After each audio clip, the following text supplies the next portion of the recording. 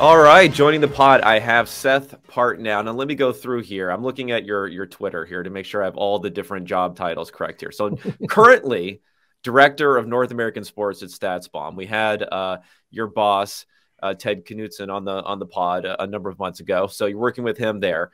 Are you still currently an author of The Athletic? Should I ask, since they've just laid off people over there? Are you still doing any work there? I, I, I do still contribute to The Athletic, do some podcasting there. Uh, I'm sort of the uh, internal basketball analytics consulting arm for, for the writing staff there. Okay, so we're, we're we're still in good standing there. Previously, director of basketball research for the Milwaukee Bucks. I mistakenly said Minnesota Timberwolves as we were leading into this, but you know, at least you know, at least some of the letters are correct there um, when we're talking about this. Uh, Mastodon. How, how, how are things going in Mastodon? I know I haven't updated my. Uh... I, I, I, there's probably some social that I can I can I can alter. I I made uh, you know I try I, have tried out the various platforms as uh, as Elon Musk's Twitter has done what Elon Musk's Twitter has done. But there's another one too, Blue something, Blue, Blue Sky, yeah, Blue Sky. Um, I see. I, that's just like yeah. Minnesota, Milwaukee. I can't yeah. get these things. Spoutable is another one. Uh, none of them have really none of them seem like they've really hit yet. Okay. Well, well, yeah, we'll see what happens. Someone can buy uh, Twitter when it files for bankruptcy and comes out of bankruptcy in another uh, six months or so. Okay, so I'm hit. I hit everything there, and you know, as part of my extensive research that I do for this podcast, I was listening to a podcast that you had done in the past with with Ben Taylor of Thinking Basketball, who I'm going to have on this pod in a bit here. And I was like, this is great. I could, you know, listen to both perspectives. I can get kind of some some overarching philosophy philosophy of analytics, everything else. And then I just proceeded to hear an hour of talk about whether uh, Rudy Gobert is underrated or severely underrated. So it, it, you, you didn't help me out there. Uh, sorry. That's well, that, how we start with this. That's a take that maybe hasn't hasn't. It was a it was a. Uh, a I think you were in the more underrated camp. You were in the yeah. more underrated camp, but you know a guy who falls into okay, Jokic probably falls into like. In, in a different sort of way, obviously, much more of an offensive focus uh, um, than a defensive focus with with Gobert, but probably would also have been like a nerd favorite before this whole run versus you know your your basketball guys, your your your your hooper guys, like who they're they're just sticking to um, how they feel and playoffs and what matters and all those sorts of things. What do you think about Jokic coming out of this series now? Um, I always look at this kind of like underrated, overrated paradigm, and I'm seeing some wild takes out there on him, on him already about whether or not he could be you know, like the greatest center ever. I think I saw on, on, I mean, some, on something there. So where do we stand with him right now? In general, I'm I'm team like calm down about uh, about like you know he won his championship. That's great. Yes.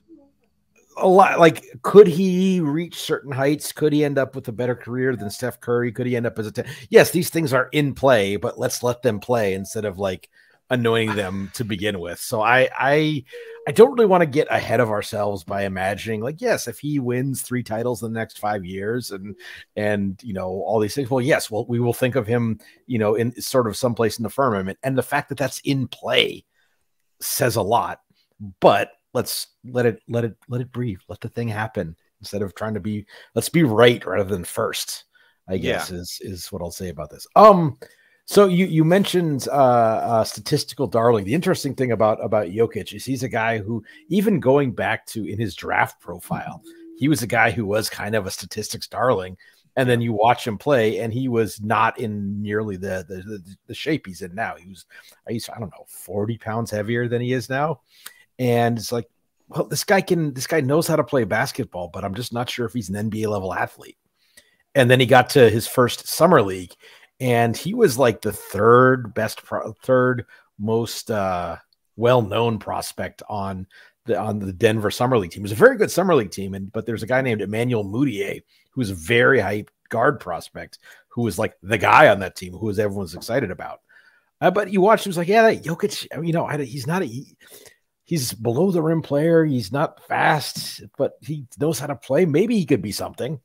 And then you know, fast forward a couple years, and it's it's uh, uh, he becomes an all star player, and then you know has been certainly arguably the best player in, in the world over the last three years. So just the the you could see something was there, but um, I think anyone who tells you that they saw this would be absolutely have been lying to you.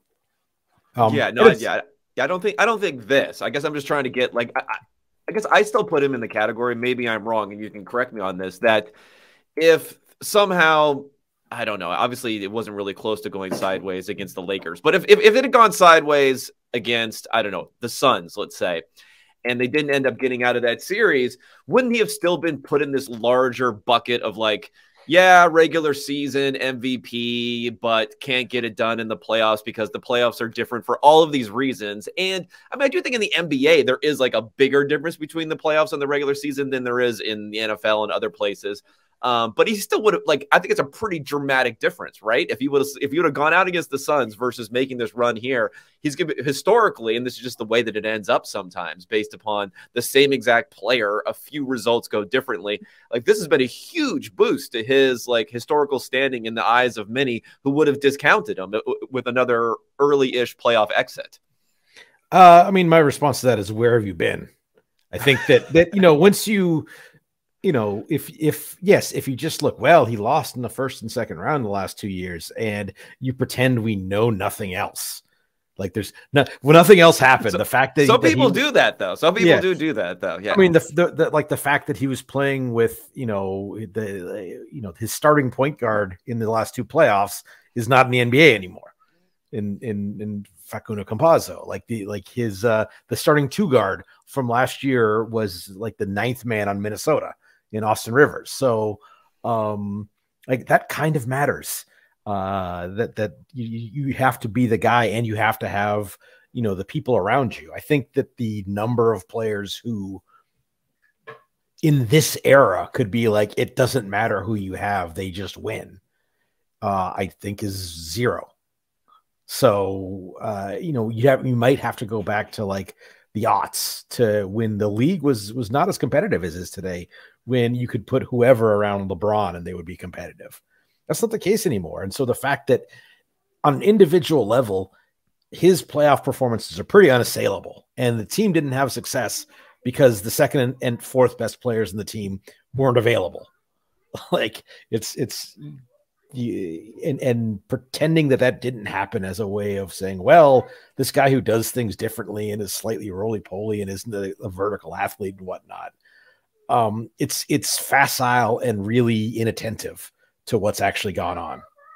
Do you think um, did Michael Jordan ruin basketball analysis? Because now I've been in I've been you know an NBA fan for a long time, kind of trailing off in, in recent years. But I'll say that people kind of forget like the the struggles that Jordan had at one point in time, or at least back then it was more like there was a handing of the torch between let's say the Celtics to the Pistons and then the Pistons to the Bulls. But the fact that he just won out for his career other than the late comeback, you know, when he was beyond his uh you know the the, the I, I'm discounting the Wizards sort of stuff yeah. to, to come out here, and then other than the half season where he came back and, and and they didn't quite make it, he was the closest thing to saying like he had this unbeatable sort of aura around him that I don't think any other player has had. And whether it's it's correct or not, I don't know. But he did win every single championship when they had a full season to do so.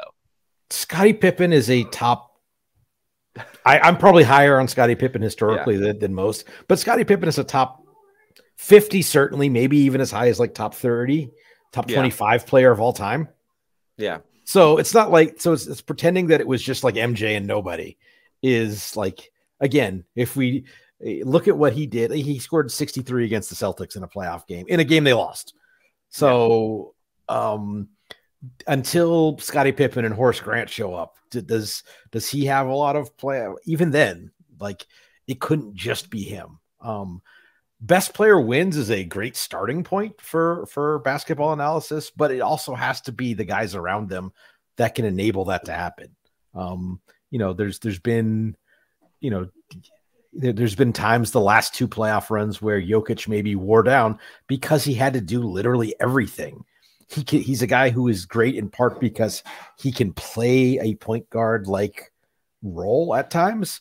But when you actually like all like the the the, the top two point guards on Denver in in uh, um, uh, Jamal Murray and Monte Morris, who they then traded, were injured last year. So you're it's your third string point guard, so he's having to play point guard and center and do everything defensively and score all the time. It's like, yes, he got tired because humans get tired and the NBA is very demanding.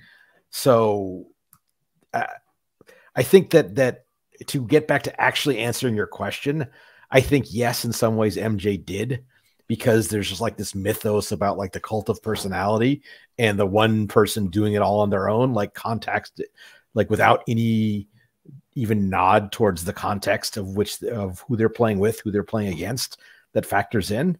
I, I do think that that has made us, um, as uh, broadly speaking, very surface level and facile about our basketball analysis.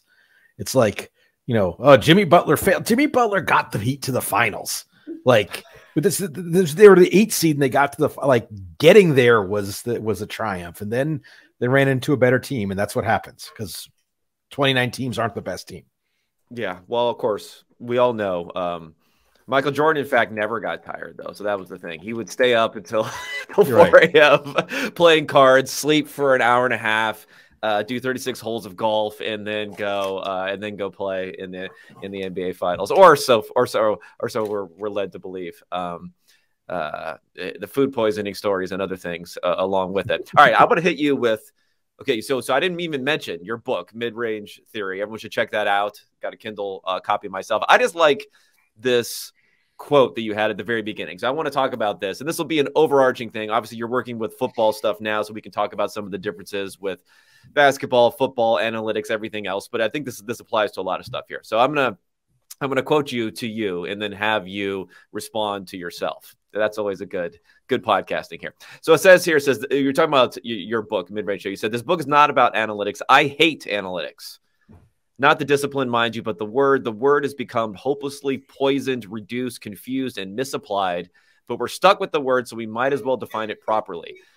Uh, he says, before we do so, there are plenty of misconceptions to cast aside. So here is what won't be in this book one neat trick to solve basketball. So, what is what let's just talk about this whole word because i've heard people talk about this in the nfl too. Should should we even use this word? Should we not be using this word? H- have you come to terms with the fact that we have to use the word despite all of the misconceptions about it? And then how do we think about analytics when it comes to any any any sport? Um, I think we're stuck with it, and I think it's unfortunate yeah. because I think a lot of things are getting sort of subsumed into various strands. There's like, you know, there's the, the the technological aspect of it, which is, you know, you see this probably most clearly in in baseball, where you know teams almost have uh, many teams almost have two what we would call analytics groups. There's like the analysis group, and then the the platform and application group that's that's building the tools that everyone uses to to disseminate the information. That's really, I mean, and that really is what it, uh, boils down to is uh, the the uh, programmatic use of information to influence uh, decision making, um, and and that doesn't roll off the tongue in quite the same way. Um, but it's not a it's not a series of tenets of like if you do this, that is analytics. It's like we think about things this way. We start from this point how we ask questions, how we gather the information to answer those questions, how we disseminate those answers, how we build those ans- the, those answers into an overall decision making flow. That's really what the thing is. Um, but it gets reduced in our vernacular. Like Moneyball is just like on base percentage, and that's not that's not what Moneyball was. Moneyball was, uh, you know, undervalued undervalued uh, traits um, but and the specific example is that um, in NBAs, it's like uh, it's three pointers are analytics, and that's not that's part that that is a part of it. That was a um, and some empirical work that was enabled by kind of uh, the statistical collation uh, collation of stuff that then you use statistical methodology and almost basic math in many cases leads you to to, to certain realizations about the value of areas of the court. Um, but that's a, that's a, that's an application, not the thing itself. And it gets so and, and the poisoning is like I don't think the game should be should be played this way, and it's it's it's analytics fault that that this player made that decision, and that's always kind of players did dumb things before we came along too. You know, it's it, it's almost it, it's uh, it's on um there there's a I'm going to make a very dated reference. There's a there's a scene in season four of The West Wing where where uh, Joshua Malina's character is is begging for there to be rain so that suppresses a vote count in election, and he walks outside and he goes, "Come on!" and it starts raining, and then he said, "Wow, what else can I do?" That's sort of how I feel about like all the things that analytics get get get blamed for. Is like, oh, if I can do that for my next neat trick, watch what else I can I can I can ruin, I can change. So um, it's almost become a useful scapegoat for thing I don't like, whether or not that thing has anything to do with what is truly going on in the work of statistical analysis and application and communication and decision making processes.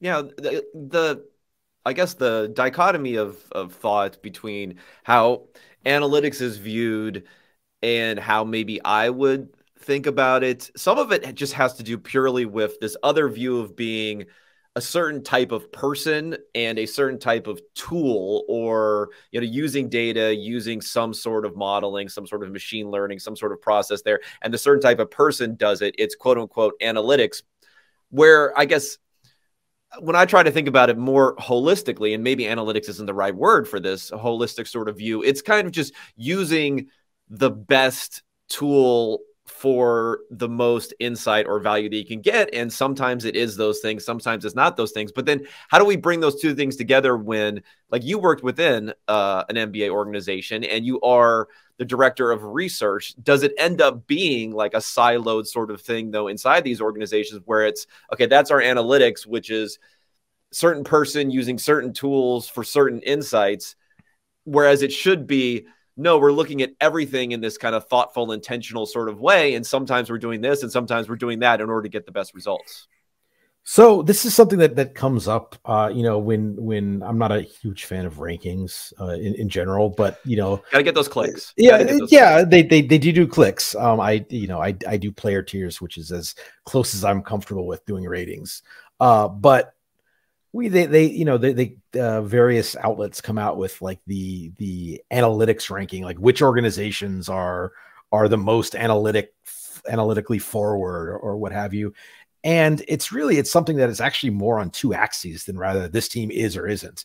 There's kind of level of investment on on kind of as as one dimension and then level of of i guess you would call integration as the other one. And there are teams that have very like low dollar amount, low uh, uh, uh, head count. I, you know, um, I, I think the Denver, like the Nuggets, basically only had had one dedicated analytics staffer prior to this season, but they've been an organization that has gotten a ton out of it. Like, congratulations and shout out to they, Layne Vashro. At, they have at, a weird, they have a weird structure. I don't know if they still have it, but like Kroenke used to have a separate analytics organization mm-hmm. that was somehow advising because he has the Avalanche too, right? Yeah. And then and yeah. then the Rams, and then I guess Arsenal also, but yeah. that's probably a whole separate thing. Um, and where he was kind of like advising all those. I don't know if they had like integration or adoption, as you know, as you might say, but I guess they had some other staffers outside of the Nuggets, which may have fed some information into them. That group eventually got folded back into the the uh the teams. It was um it did um, okay okay. It, it was the unfortunately the exec who was uh kind of overseeing that that that project, um, uh, uh, Brett Baer, who's a, a, wonderful human being who uh, was one of the great storytellers I've ever met. But he was kind of that was his vision, and he passed away unfortunately uh, a, a, couple years ago. And after he died, they they kind of, but it was like the people from that who had been working with the Avs, then embedded with the Avs, and a lot of the success that they've had is, uh, you know, they have influenced the success. I, I, I'm hesitant to give credit to one thing or another because any of these decisions are very multivariate, and so like, well, which one of those did the did the did the the the analyst push over the line? I don't know, but it's like over time you have the influence, you make better decisions. Um, and then Layne has been first with the Kroenke Sports Group, and then with the the the, the Nuggets has been there half a decade or like six or seven years. And but he was basically a one man shop for a long time, but he was integrated into their process at a you know at a start from we're answering the asking the questions. You're in the room when we're asking the questions, so you know what we care about. So all through the process, you can address those questions, not the sort of garbled version that we know how to ask. This is, um, and there are teams. Uh, the flip side, and I won't name, I won't, I'll, I'll withhold names to protect the guilty, but there are teams that are spending a lot of money, have a lot of people that get nothing out of it because it's they're just this group in the basement that's tapping away on their computers and they send reports out and it's it's you know it's a it's a it's an adjunct it's a it's it is it is completely siloed off so um you can get a lot with a little as long as you use it correctly as long as you make it about asking the question not like not like you're looking up a, a you know it's not you're just looking up a stat on on whether it's basketball football hockey reference or whatever. You're asking the question and then figuring out how from the available data to answer it. Now sometimes that available data is in fact statistical. Sometimes it's it's the more traditional data. And i think that this is where the line of demarcation between like traditional and metrics i think is is dumb and antiquated because qualitative data is data the same way that quantitative data is. And when you really scratch the surface, like there's a lot of qualitative elements in any of the, the so-called quantitative data. Like we have decided this is important and therefore we are tracking it. There's a qualitative element to this is important enough to be, to look out for. And at the same time, like the, you know, using the football example, um, four three speed is a is is is quantitative. And that's and that's sort of something that the traditional scouting process has relied on. Um you know you've you know yards attempts touchdown whatever sacks all of these things they're, they are they are whether or not they're predictive and useful some more than others but those are quantitative. So everyone is using a, a mixture of both. And the sort of bright line demarcation between the two is is a problem. And the teams that knock that down and say yes you're specialized in this area but you data person and you traditional scout person need to be able to talk to each other um, both and understand what each other's saying but also sort of on equal footing as as colleagues um, so that we collectively come to the best decisions the teams that have set that structure up are the teams that are doing well with it, and the teams that haven't are lighting money on fire. Okay, well, let's. Okay, where does the buck stop when it comes to making this happen? Is it the the general manager or the equivalent that really is the person that we care about here? Is it I don't know, some some other level of the organization? Is it the head of research and how they are able to influence and uh, I don't know, sell, you know, in a way and establish relationships and do those sort of things.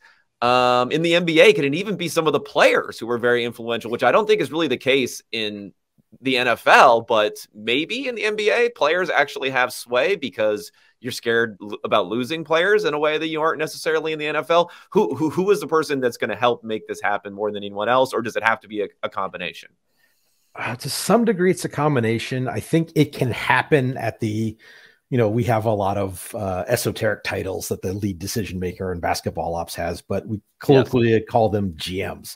Right. it, it, can start with the GM, but really the most the the the surest way to make sure it happens is if it's something kind of from ownership. We are going to do things this way. Um, and those are and and those tend to be now sometimes it is that has been the GM has managed upwards to say, hey, we're going to spend money on this and integrate this in our process are you cool with that? And then yes, and then that's how the organization runs. Um, I would say that the the sort of the head of research, the head of analytics, or whatever. Um, I don't think they can create that culture, but they can break it if they are um, a bad communicator. Um, it's an interesting thing about like the the the the, the analysts, certainly the head analyst, the head of research position, is it is. I mean, I think you mentioned that they're bad at selling. It's a sales job.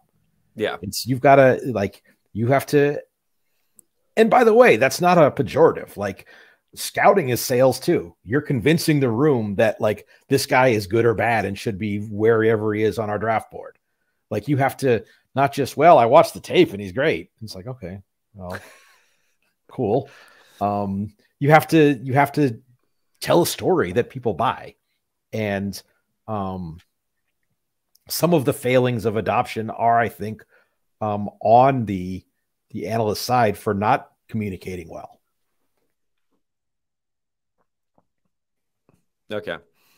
Um, well, okay. When it comes to the sales side of it, I'm interested in this because there's often discussions in the public sphere where um, analytical types will be accused, sometimes fairly, of arrogance, for lack of a better word, or what we may deem as overconfidence in different opinions. And I think often it's not that they're any more confident than another type of opinion, but there's like an inherent legitimacy that's seen in certain opinions versus other opinions. So we're talking about, let's say, you versus in an organization versus a scout who has, you know, played whatever, did whatever.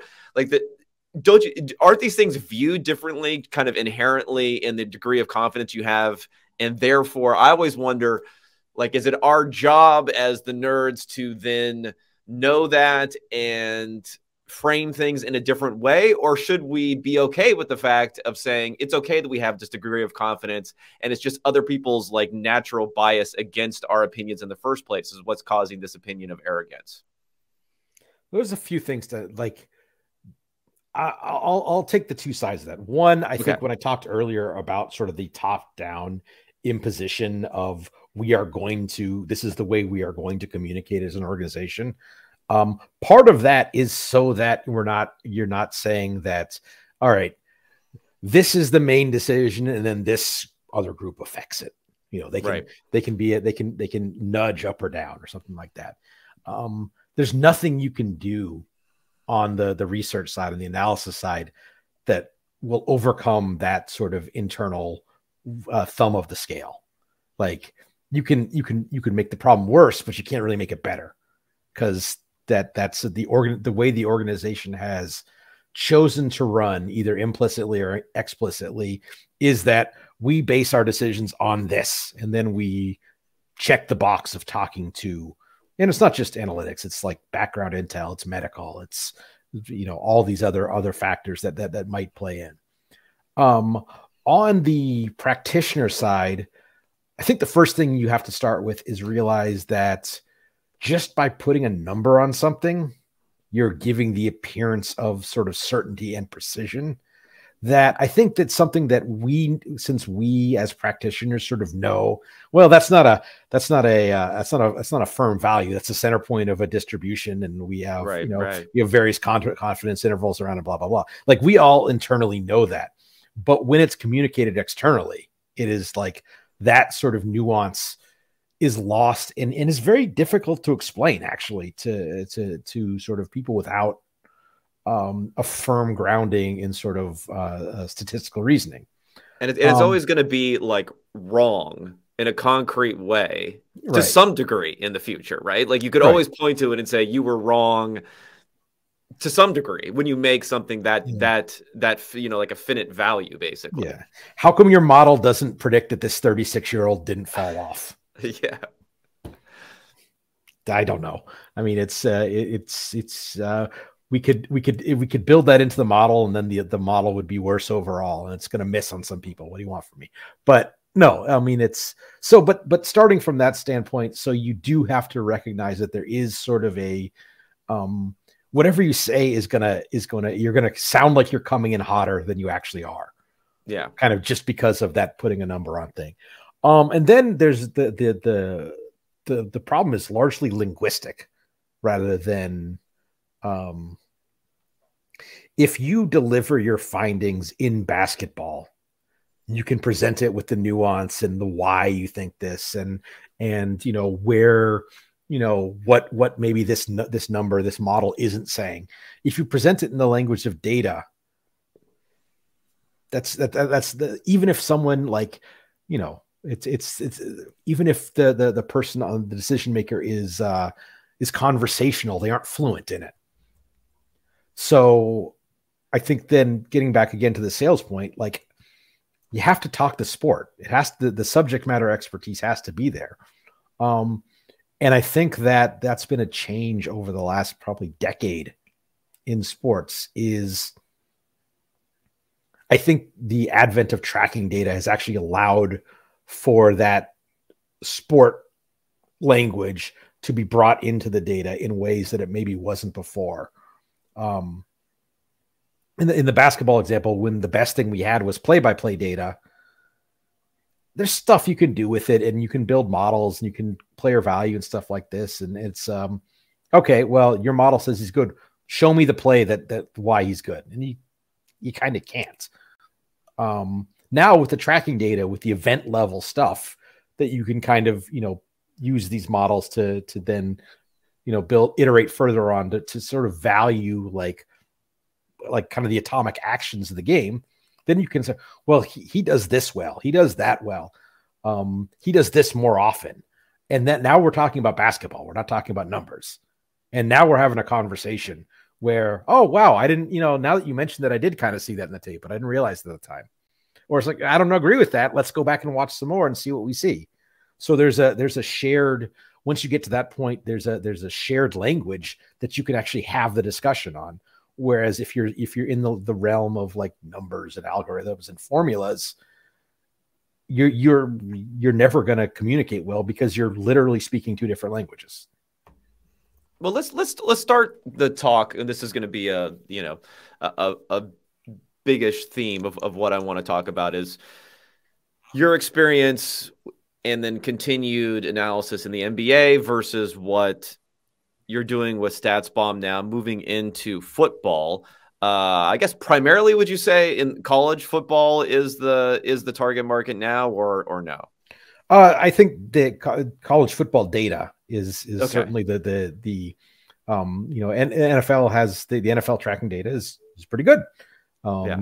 So, um, but there is no real, there is not a widespread analog in in the college space um, for that.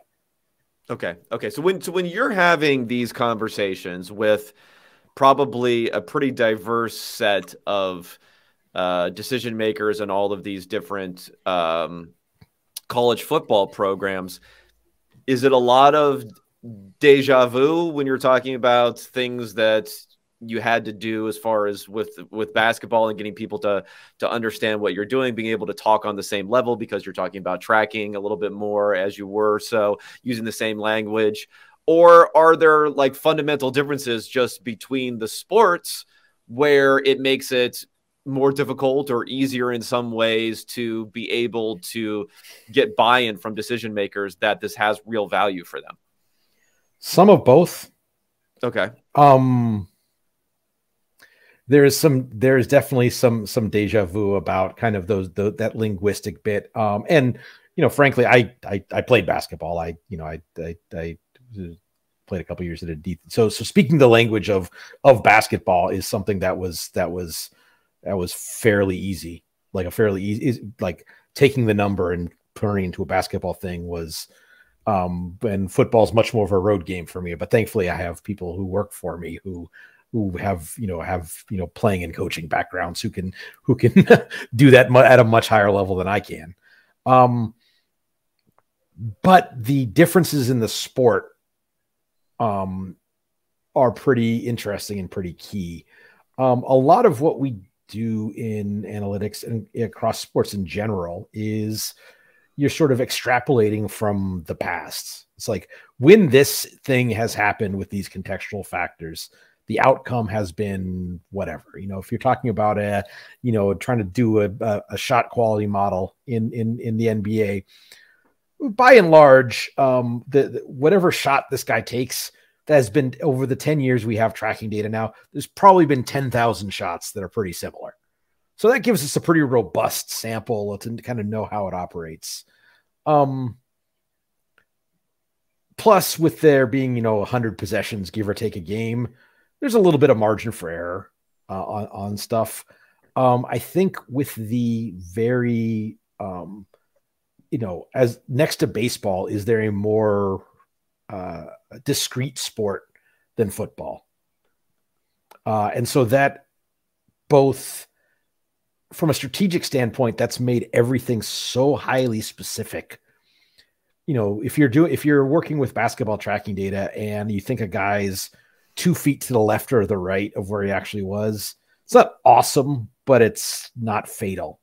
If you're looking at, you know, alignment data, you know, if you have a defensive lineman two foot, two feet to the right of where he actually was, you, you've changed everything about that play completely from from an analysis standpoint. So the level of precision there, and then also because of that level of precision, you're and and the number of games are smaller and plays are relatively limited across a game.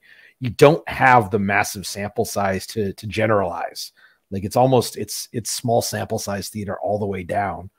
So trying to find ways in which you can generalize to bring the weight of kind of history to bear um, maybe more by analogy than by specifically like when they ran this play out of you know trips and against this coverage maybe that hasn't happened but maybe something similar enough has happened that you can you can you can say some meaningful things about expectations and who should have done what or anything like that um so that's it that i mean that the, the the level of specificity in football i think is is just higher than it is um I, in any other sport that I've that I've certainly had. I've I've dabbled, you know, I've messed around with soccer data, I've messed around with hockey data. Everybody's messed around with baseball data. Um, so that's that's a that is a challenge that I think is unique to gridiron football. It's interesting because like okay, so so the data side and then let's say the insights from the data that you can produce if you're not in the building, let's say, or even a producer about opponents, I guess, if you are in the building. To me, it seems like there's that's a that's just a harder nut to crack when it comes to football than when it comes to the NBA when things are kind of there for you like if you're if you're a, a perceptive viewer of the game it's it's kind of there for you to see whereas there's a lot of stuff that you just can never figure out. Even if you are a former professional and you're looking at it, people can have very different opinions of what's going on. So is is that a, key difference between the two sports? I would assume so from the outside looking in, but I'm not sure. Oh, I think that's a fair way to put it. Another, I mean, another way to, to think about it is we're sort of uh, earlier in the path in, in, in football, just in terms of how well kind of the more traditional measures capture what's gone on. Like again, you can put baseball on one side and probably soccer on the other side in terms of like what the, you know, the the the, the paper shows up the next day and it's got like a you know a box score of the game. How well does this box score exp- like explain explain like the nuances of what happened in a game, or or even you know the scorecard in baseball? the, the the the scorecard, like the way we've kept score in baseball for a hundred plus years, it's actually pretty damn good. Basketball's not quite as good, but with play-by-play data, it's pretty good.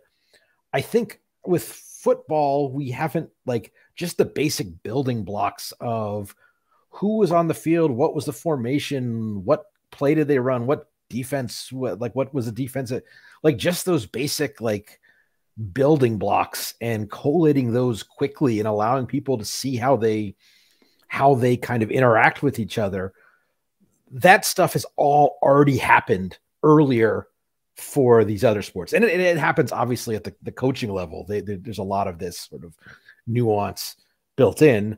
But from a a data and analysis level we don't really have this yet. And so a lot of the value comes from just like doing that stuff with consistency, with speed, with you know historical depth, rather than running to wanting to do big like player value single number models and stuff like that. Yeah, yeah. I guess I'm I'm thinking about um like work that I've seen from people who are on the outside do NBA work that has a quantitative bent to it. Um for instance, like like I mentioned, uh, having having you know Ben on the on the pod, he does some quantitative stuff in addition to film breakdowns and other sorts of things. And I've seen people who were like football fans who will explicitly say, "Man, I wish like the nerds that are looking at at football were anything close to this because this is so much better." But I'm I'm kind of wondering whether just basketball fundamentally is like a sport that's easier to um, analyze, especially on the broadcast tape that we're talking about here. Um, and that can kind of build a sort of credibility or do you think the nerds are as maligned within by basketball fans there as the as the football nerds are by football fans um it's probably pretty close to be honest um okay. i think there's yeah. there's sort of there i mean the because basketball had a little bit of head start at least sort of um it's getting this way my perception is is getting this way in football where um, there's at least a desire to be seen as smart in this level. Yeah. Whereas I think a big difference between uh, the NBA and the NHL is it's it regardless of how you actually do the thing internally, like you know the level of opprobrium that a basketball decision maker would get if they said something like, "I only care about one stat and that's the final score." mm-hmm. where and that's the kind of thing that that you you sometimes hear like people say it say in hockey. Yeah. Like I, am not sure that internally it's treated much different, but that's the kind of thing you just can't say publicly in basketball right now because like, you know, the the the the the punditocracy will kill you. Um so there is uh, maybe a level of cultural acceptance because of that that hasn't quite hit hit the NFL yet. Um yeah, I think, but on another level, like basketball, much like baseball, because of both the number of games and the number of events in a game, you know, there's 150 shots taken in an NBA game, give or take, multiplied by 1,230 games a year. It's a big, robust sample of this of this one action. How many, uh, you know, I, I can't do the math in my head off off the top of my head, but how many passes are thrown – in an NFL season. Yeah, I mean a lot. but but not but but like orders of magnitude fewer. Yes, yeah, definitely orders of magnitude and, fewer. Yeah, and orders of magnitude fewer, and the the the contextual factors that affect each one of those passes are far more varied than kind of you know the things that can go into a basketball shot. Like how you get like from a strategic standpoint, how you get to the shot there's there's that's where a lot of the really interesting stuff is happening. That can vary, but once you get to okay, well, the guys take he's moving this speed and the defender's here and he's this far away from the basket and okay, we we we here's how we can we can that thing has happened thousands and thousands of times already. So we can we can be pretty smart about it. That thing has happened dozens and dozens of times in in in in the football context. And so that's just the, the level of of uh confidence you can have in any one thing is is is probably higher in the former. Um but at the same time, I think we're mistaking uh it we're, we're almost aiming at the wrong goal because you're not aiming for perfection, you're aiming for better. And so you can in a you you can't get to a precise very precise calculation necessarily in a small sample, but you can probably get somewhere directionally. And if you're somewhere directionally, like you're you're you know as you said earlier, everything's wrong. You're less wrong. If you're less wrong than the next guy, if you're you know the the NFL draft is hard. If you miss miss on one fewer pick a year, how long does that take for you to be the best roster in the NFL? If the I don't like I don't know what the what what the what the averages break down, but if a team you know, if the median NFL team got X number of real players out of the draft every year, and one team figured it out enough that they got X plus one. Like that team, that that's a that is a Super Bowl contender every year, pretty quickly, isn't it?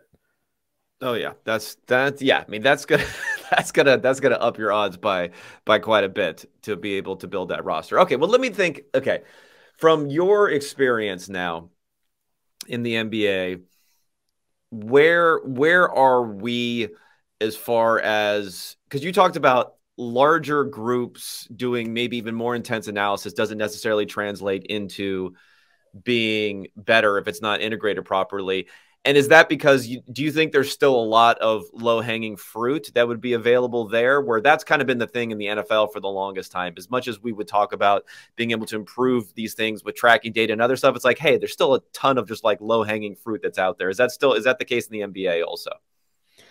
Uh there is some. I'm smiling because uh, you know there was uh, uh, NBA Finals Game Five was last night, and there was the uh, the the customary they don't need a three year rant by one of the broadcasters, and yeah, uh, and somehow and somehow people know that that that those discussions are are, are perhaps triggering for me. It's like.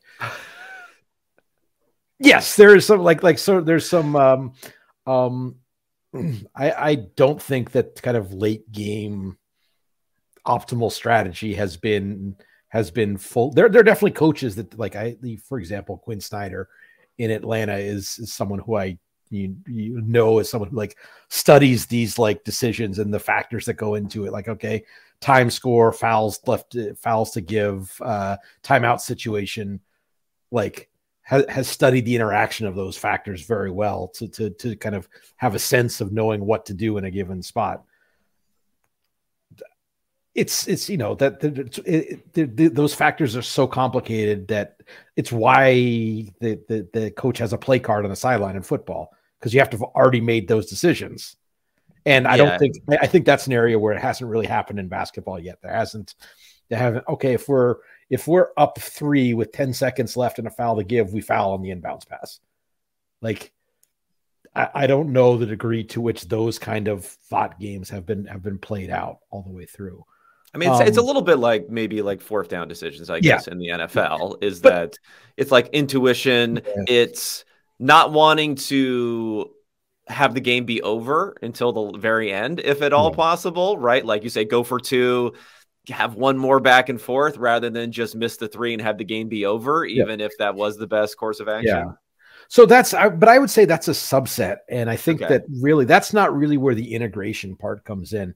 The integration yeah. is more again, it's it's if you're not asking the right questions, you can't get the right answers. If you something that I very frequently said when I was dealing with, you know, uh, execs, coaches, video, film, film room people is don't ask me a stat question, ask me a basketball question. And that, like, let me figure out the stat that the, the, or the mix of stats or the method or whatever that can address that. And then i'll come back to you and to the extent that i need to explain the method or whatever so that you buy what i'm selling we can do that. But mainly hopefully i've built up the trust that if you ask me what how well do we do x uh, relative to the league that when i come back with an answer it's not you know who has the highest points per possession in this situation. That's that might be an answer but it's not necessarily the answer. There's probably other stuff that goes into it. Um, so the, the example I often use is is the the you know who is the best shooter versus who has the highest three point percentage. Who has the highest three point percentage is a trivial question. Who is the best shooter is a much more difficult question because it involves like okay, what do you mean by shooter? Dude, like, the, are we just talking about standing or and standing around hitting an open jump shot? Are we talking about the versatility with which a player can take and make shots? Are we talking about players' willingness to take tough shots, even if they, you know, shots that might not be their highest percentage, but they will make well enough to be worth taking anyway? These are all factors that that that go into that. And if you're involved at the start of that process, you can have those discussions about what are we really trying to get at here? What's what's the problem we're really trying to solve instead of it just being a flat you open your laptop, give me an answer. Which, you know, is isn't useless, but it's far less helpful. It's it's answering a proxy for the question that you actually want to ask and didn't know how. And if you have the if you have the the right people in the room. They don't even have to be active participants. They just have to hear what the thing you're discussing is. And then they that gets a better sense of what do you actually what what is the piece of information that is actually needed that will key this decision versus what do I think I know how to ask. Does that make sense? Yeah, that makes sense. That that definitely makes sense. I mean, yeah, it's a much more complicated situation sometimes. But I guess this would go back to kind of like what is analytics in a way, because for NBA, maybe everyone would say it's just like you know take take threes and layups or something like that, and and and that's that's analytics. Um, has that discussion? Where do you think we are on the arc of, of that of that discussion? I guess it would also be in the. I'll make a football analogy here. It's like passing the ball, where every couple of years a team performs well in the NFL when they are running the ball a bit more. Uh, I remember there was uh, the Tennessee Titans and exotic smash mouth was their thing for a while, and it was there's always like a call for a reverse for like a a counter to the existing trend that never ends up coming. Um, where, where do you think we are on that sort of arc? Because I assume it's the same thing in the NBA that there's like this feeling that at a certain point there will be value that'll be that'll that'll open up outside of taking three pointers because everyone's doing it, but instead people have gotten even better at shooting three pointers, so then it just continues further down that road. I think it's interesting because it's an interesting time to have this conversation because I think we've actually kind of in the last couple of years have hit that inflection point where there was a time where you kind of math your way to a good offense. Yeah. As teams were, as some teams were figuring out that, you know, three is greater than two and having your, your guy without the ball stand at 24 feet from the hoop instead of 18 feet from the hoop is better both when he catches the ball, but also when he doesn't. Um, you know, when that was, when that realization was sort of still percolating through the league, you could math your way to a good offense just by shot profile. And you can't really do that anymore, at least not offensively. You know, it's it's, funny. It's still defensively the shots you give up relative to the league do still kind of dictate a little bit. Like, yes, you don't give up corner to threes and you don't give up shots to the rim, you'll probably have a pretty good defense. Um, just when you're playing it. So, but on from an offensive standpoint, it's much more about uh, having guys who can make the shots they take. And there are are more ideal and less ideal kind of shot shot profiles in terms of where that brings you. But it's it's returned much more to be that that like shot making talent is the differentiator rather than just like well we are counting cards and you're not so we win. Um, and so we've kind of i think we've kind of hit the i don't want to say the outer edge of the threes but it's also the fact that defenses have gotten smarter about how they about how they defend as well. Um, I there's a there's a very basic.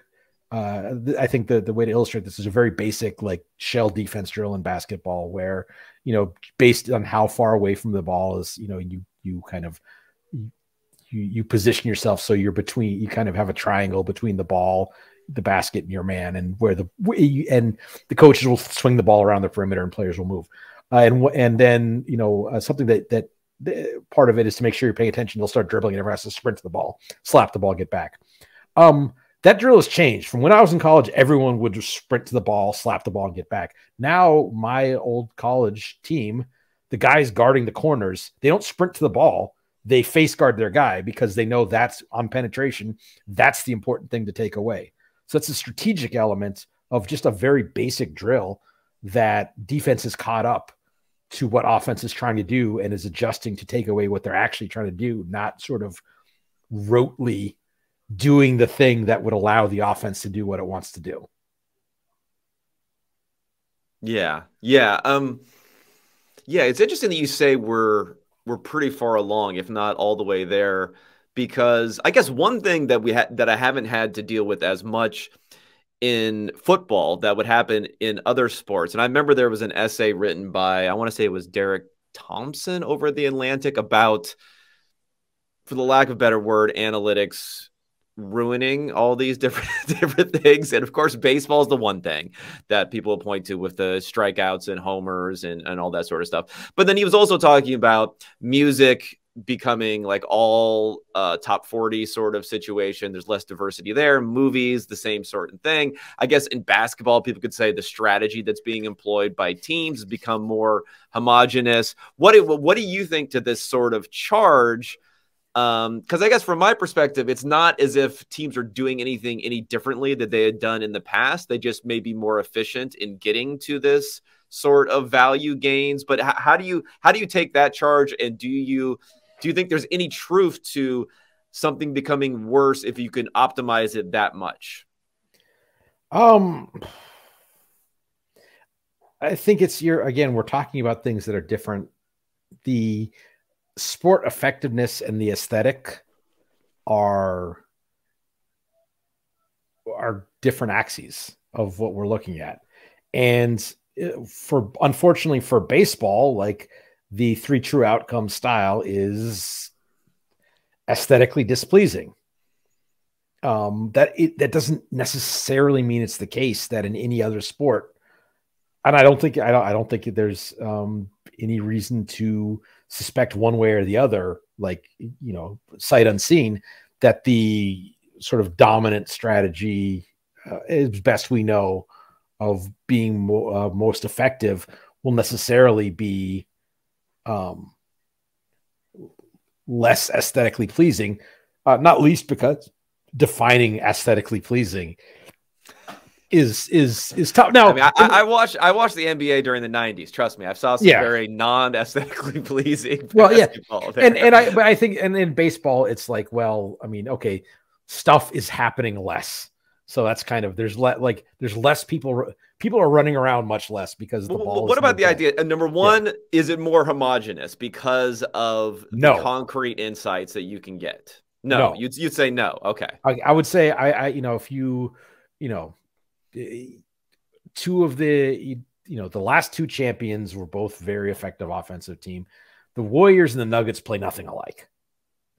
The the champion before that, the Bucks, play nothing like either of those teams there's certain similarities in that they are trying to get to similar places.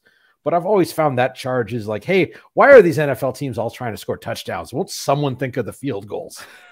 right. Which is just, just it's it's it's ludicrous. And but I mean, from a like, I've gone and looked, and we have a decade, a little more than a decade, probably 15, 16 years of reasonable play type data and I've actually gone and looked and seen how, you know, done an analysis to see how homogenous the league is and like how they're getting to their shots.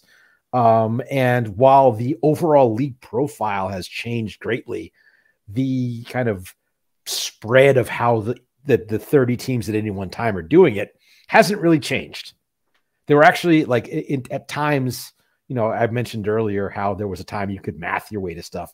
That was actually um, a period of fairly bro- much broader than usual kind of uh, stylistic diversity, but that was because like some teams were advancing with the times and some teams weren't. So it was, it was more just like the trailing edge was bad rather than there being this like desirable diversity. Um, so a lot of it is it's you know to some extent the league has always been a copycat league and like whatever has worked most recently everyone thinks that's the best way to do things and that's something that predates analytics by 40 years. So i i and and just on a on a qualitative level i just absolutely reject the notion that if you're just looking at like the shot charts maybe it looks like everyone's playing similar. If you watch the damn games they're not. They're doing things very differently. Like Nikola Jokic and Stephen Curry nothing alike in how they play basketball isn't it a little okay? Well, uh, let, us let's think of this then. I guess it's just we have for such a long period of time the most dominant offensive players were. I mean, it's probably not necessarily aesthetically pleasing that it was like you have abnormally freakishly tall human beings you'd throw the ball to and they skilled or not on a certain sort of level that was a lot of a lot of the offenses being played but i mean how do you think about these players i guess i guess some there's like this nostalgia factor for everything if we're talking about i don't know anyone from you know Hakeem Olajuwon to Shaquille O'Neal. I guess Hakeem Olajuwon a little bit less so, but Shaq or something like like how would they even function in today's NBA in the same Just sort of fine? You think Shaq would function just yes. fine? Yes. I mean, for like you see how uh, if you watch this year's playoffs, you see how teams struggled to cope with Jokic's size. No disrespect yeah. to Jokic, but in terms of like size and explosiveness, like there's nobody in the NBA like Shaq. Shaq would be just fine in today's NBA. People forget that like young Shaq was also like extremely mobile and athletic. Like your image is maybe more like late Lakers period Shaq, where yeah, like it was coming out of LSU, Shaq was yeah. actually seen as being a dominant defensive force before being a before Shaq, really being and, an and, offensive and, force. And, and throughout his prime, he was like there were some of his later Lakers years where in the regular season he kind of just didn't give a shit. Yeah, he, he was loafing it. He was loafing. Yeah, and then but then the playoffs, it's like you know, okay, you see this, you see this this this box with a different colored like like paint on the floor. You can't come yeah. in here. Yeah. Um. So I think that um now, would it, would he do things differently? Would he probably have to be more of a pick and roll player than just a straight post up guy? Yeah, probably. But that's as much about rule changes as it is about um, like analytics per se. I wrote about this in the book about how um, like again saying analytics did this three point thing is proving too much because really it started with rule changes in the early 2000s that like led to more perimeter play for because you couldn't put your hand on a small guard on the perimeter anymore. So all of a sudden, small quick guard has an advantage that they didn't have before over the you know the the bulky six six guy who maybe can't handle the ball.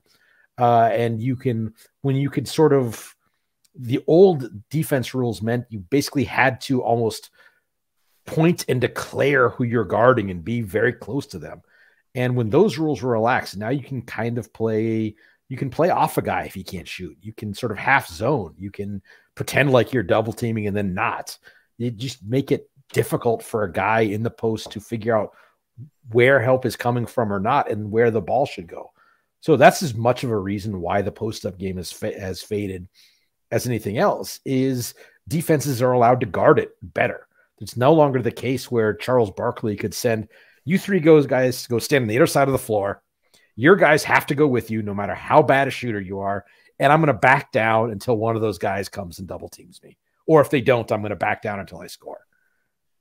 You can't that that's not a style you can do now because the the, the defense isn't going to let you because they don't have to. If you've got one of your guys on the other side as your center who can't shoot past past the length of his arm, he can stand out there all he wants. I'm not going to be anywhere near him. But you could, but in the old rules, I had to guard him. I had to guard Mark Eaton like he was Mark Price. Well, what do you think about the discussions of the state of the of the game? This probably wasn't the greatest finals matchup from a uh, rating standpoint or something like that. So, you do, do you think the quality of the actual play, or is this more like macro factors of you know, not having a dominant team anymore. People love dominance, despite what they may say. Um, well, well what do you think about the state of the game? It's a, a complicated question. I think so. First of all, I think the early I haven't seen like the the final ratings yet, but at least yeah. early in the series, it seemed like they were pretty comparable to last year's. Which, considering last year was two glamour teams in Golden State and Boston, yeah, probably speaks well of people being interested. Um, I do think we are in sort of a a transitional period in that a lot of the kind of the previous generation of stars, you know, LeBron's, Chris Paul's, Kevin Durant's, are kind of hitting that part where they're aging out of like either have aged or aging out of like top relevance. And the new wave, the new wave hasn't totally come up behind them. There's there's Jokic and Embiid, and but Luka might not quite be there yet, and whoever the next group is.